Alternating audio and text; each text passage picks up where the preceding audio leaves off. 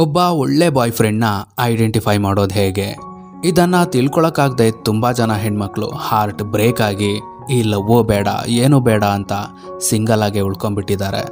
So, ನೀವು single ಆಗಿದ್ರು committed ಆಗಿದ್ರು, ಇಲ್ಲ ರಿಲೇಷನ್ಶಿಪ್ಗೆ ಹೋಗಬೇಕು ಅಂತ ಪ್ಲ್ಯಾನ್ ಮಾಡ್ತಿದ್ರೆ ಈ ವಿಡಿಯೋ ನಿಮಗೆ ತುಂಬಾ ಹೆಲ್ಪ್ ಆಗುತ್ತೆ. ನಿಮಗೋಸ್ಕರ ಟಾಪ್ ಹನ್ನೊಂದು ಟಿಪ್ಸ್ನ ಶೇರ್ ಮಾಡ್ತಿದ್ದೀನಿ.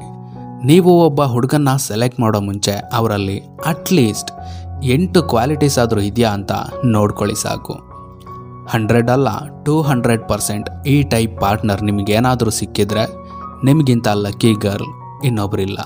ಆ್ಯಂಡ್ ಈ ಟೈಪ್ ಹುಡುಗರು ತುಂಬ ಡಿಫ್ರೆಂಟ್ ಯುನೀಕ್ ಆಗಿರ್ತಾರೆ ಆ್ಯಂಡ್ ಸ್ಪೆಷಲ್ ಆಗಿರ್ತಾರೆ.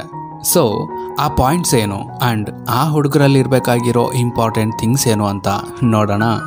ಸೊ ಇನ್ನೂ ಲೈಟ್ ಮಾಡಿದೆ let's begin a video number one he trust you ಇವಾಗ ಪರಿಸ್ಥಿತಿ ಹೇಗಿದೆ ಅಂದರೆ ಹುಡುಗರು ಹುಡುಗಿರ್ನ ಅಷ್ಟು ಈಸಿಯಾಗಿ ನಂಬ್ತಿಲ್ಲ. ಎಲ್ಲದಕ್ಕಿಂತ ಮುಂಚೆ ಡೌಟ್ ಪಡ್ತಿದ್ದಾರೆ ಅಂದರೆ ಯಾರ ಜೊತೆನಾದರೂ ನಗ್ತಾ ಮಾತಾಡಿದ್ರೆ, ಯಾರನ್ನಾದರೂ ನೋಡಿದ್ರೆ ಆನ್ಲೈನಲ್ಲಿ ಇದ್ದು ಮೆಸೇಜ್ ಮಾಡಲಿಲ್ಲ ಅಂದರೆ ಅನುಮಾನ ಸ್ಟಾರ್ಟ್ ಆಗುತ್ತೆ. ಆನ್ಲೈನಲ್ಲಿ ಯಾರ ಜೊತೆ ಮಾತಾಡ್ತಿದ್ದೆ ಅಂತ ನಂಬಿಕೆನೇ ಹೊರಟೋಗಿರುತ್ತೆ, ಇಲ್ಲ ನಂಬಿಕೆ ಕಡಿಮೆ ಇರುತ್ತೆ. ಸೊ ನಿಮ್ಮ ಲೈಫ್ಗೆ ಬರೋ ಹುಡುಗ ನಿಮ್ಮ ಮೇಲೆ ನಂಬಿಕೆ ಇಟ್ಟಿದಾನ ಇಲ್ವಾ? ಇದನ್ನು ನೀವು ಮೊದಲು ಚೆಕ್ ಮಾಡ್ಕೋಬೇಕಾಗಿರೋದು. ನಿಮ್ಮಿಬ್ಬರ ಮಧ್ಯೆ ಟ್ರಸ್ಟ್ ಅನ್ನೋದೊಂದಿದ್ರೆ ನಿಮ್ಮ ರಿಲೇಷನ್ಶಿಪ್ ಯಾವತ್ತೂ ಸ್ಟ್ರಾಂಗ್ ಆಗಿರುತ್ತೆ. ನಂಬರ್ ಟು ಫಿಸಿಕಲ್ ಆಗಿ ಒಂದಾಗೋಕ್ಕೆ ಪದೇ ಪದೇ ಕೇಳೋ ಹುಡುಗ. ಈ ಪಾಯಿಂಟ್ ತುಂಬ ಇಂಪಾರ್ಟೆಂಟ್ ಸ್ವಲ್ಪ ಜನ ಫಿಸಿಕಲಿ ಒಂದಾಗೋಣ ಅಂತ ಪದೇ ಪದೇ ರಿಕ್ವೆಸ್ಟ್ ಮಾಡ್ತಿರ್ತಾರೆ. ಆ್ಯಂಡ್ ಅದಕ್ಕೋಸ್ಕರ ಅಂತಲೇ ನಿಮ್ಮ ಜೊತೆ ರಿಲೇಷನ್ಶಿಪ್ಗೆ ಬಂದಿರ್ತಾರೆ. ನಿಮ್ಮನ್ನು ಲವ್ ಮಾಡ್ತಿರೋ ಥರನೇ ಆ್ಯಕ್ಟ್ ಮಾಡ್ತಿರ್ತಾರೆ. ಒಂದು ಸಲ ಅವನ ಇಂಟೆನ್ಷನ್ ಕಂಪ್ಲೀಟ್ ಆದಮೇಲೆ ನಿಮ್ಮನ್ನು ಬಿಟ್ಟು ಹೊರಟೋಗ್ಬಿಡ್ತಾನೆ.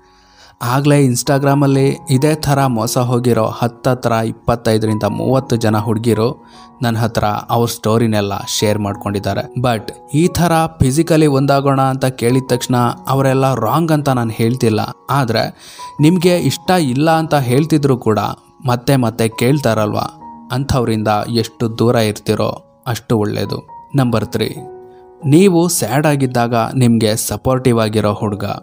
ಇದು ನಮಗೆ ಗೊತ್ತಿರೋದೇ ಅಲ್ವಾ? ಖುಷಿಯಾಗಿದ್ದಾಗ ಎಲ್ಲರೂ ನಮ್ಮ ಜೊತೆನೇ ಇರ್ತಾರೆ. ಆದರೆ ನಾವು ದುಃಖದಲ್ಲಿದ್ದಾಗ ಕೇವಲ ನಮ್ಮವರು ಮಾತ್ರನೇ ನಮ್ಮ ಜೊತೆ ಇರ್ತಾರೆ ಸಪೋರ್ಟಿವ್ ಆಗಿ ನಿಲ್ತಾರೆ.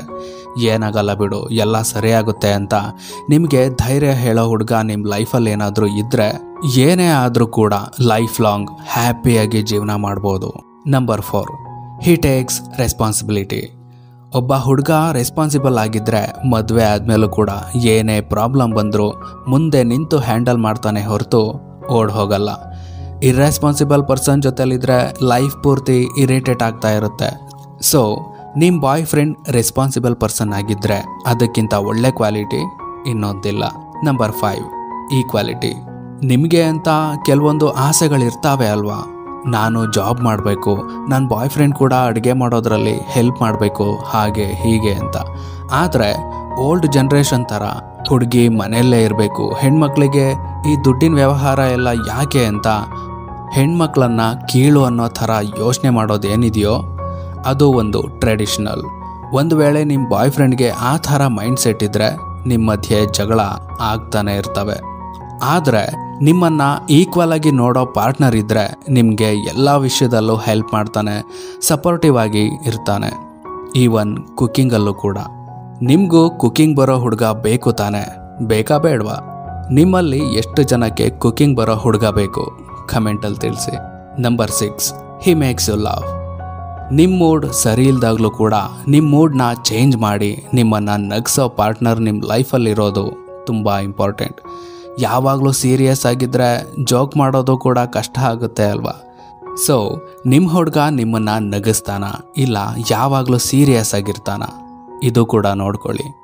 Number seven he can compromise ನಿಮಗೂ ಆವಾಗವಾಗ ಕೋಪ ಬರ್ತಾ ಇರುತ್ತೆ ಅಲ್ವಾ? ಪ್ರತಿ ಸಲ ನೀವೇ ಸೋಲೋಕ್ಕಾಗಲ್ಲ ಅಲ್ವಾ? ಅಂಥ ಟೈಮಲ್ಲಿ ನಿಮ್ಮ ಕೋಪನ ಅರ್ಥ ಮಾಡಿಕೊಂಡು ಅವನೇ ಕಾಂಪ್ರಮೈಸ್ ಆಗ್ತಾನೆ.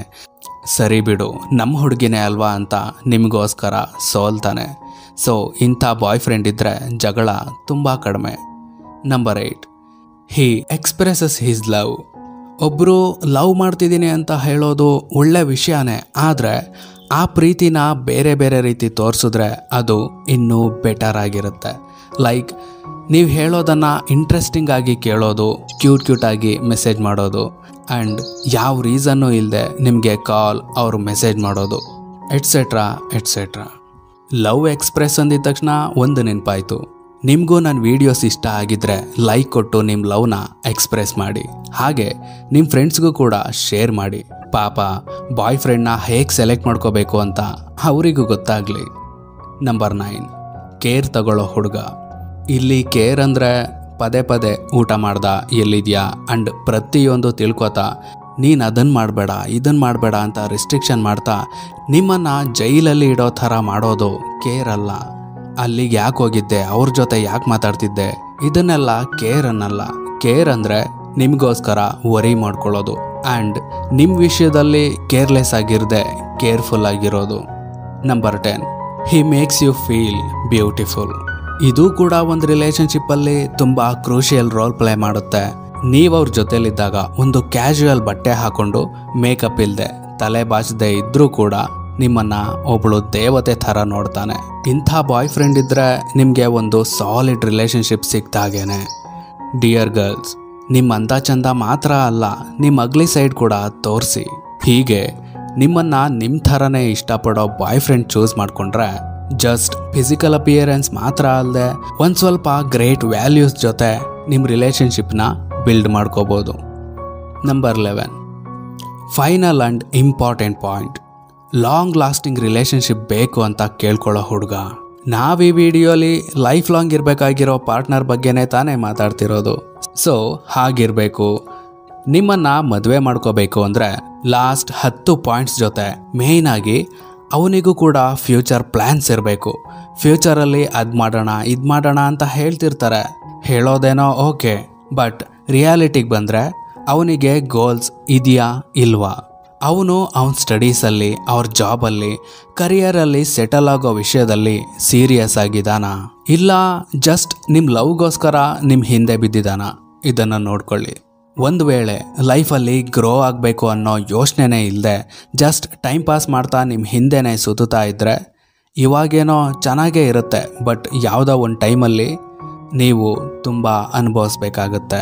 ಸೊ ನಿಮ್ಮ ಲವ್ ಜೊತೆ ಕರಿಯರಲ್ಲೂ ಕೂಡ ಸೀರಿಯಸ್ ಆಗಿದ್ದರೆ ಲೈಫ್ ಲಾಂಗ್ ಹ್ಯಾಪಿಯಾಗಿರ್ತೀರ ಲೈಫ್ ಕೂಡ ಚೆನ್ನಾಗಿರುತ್ತೆ. ಇಷ್ಟು ಕ್ವಾಲಿಟೀಸ್ ಒಬ್ಬ ಹುಡುಗನಲ್ಲಿ ಇರಬೇಕು ಅಂದರೆ ಸ್ವಲ್ಪ ಕಷ್ಟನೇ, ಬಟ್ ಇಂಪಾಸಿಬಲ್ ಅಲ್ಲ. ಇವೆಲ್ಲ ತುಂಬ ಚಿಕ್ಕ ಚಿಕ್ಕ ವಿಷಯ. ಇದರಲ್ಲಿ ಅಟ್ಲೀಸ್ಟ್ ಎಂಟು ಅಥವಾ ಒಂಬತ್ತು ಕ್ವಾಲಿಟೀಸ್ ಆದರೂ ಇದೆಯಾ ಅಂತ ನೋಡ್ಕೊಳ್ಳಿ.